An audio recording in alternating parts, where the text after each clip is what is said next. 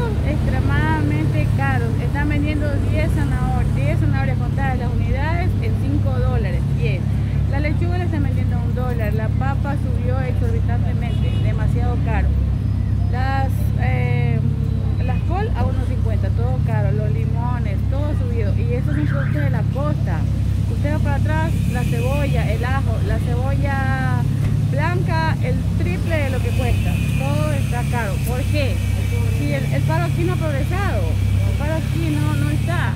Porque los precios de la costa, como la hierbita, como la cebolla colorada, como el, limón, todo eso, ¿por qué ha subido? No hay ningún tipo de control, ninguno, ningún tipo de control, ni de las autoridades, ni de ningún tipo, de nada. Cuando yo les digo que está muy caro, les paso diciendo, voy a denunciar alguna cosa, denuncie. Denuncien porque todo subió, a nosotros nos venden caro también, pero ellos están especulando.